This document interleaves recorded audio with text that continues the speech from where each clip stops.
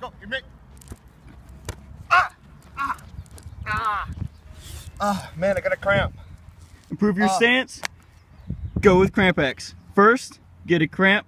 Second, apply CrampX oh. to the affected area.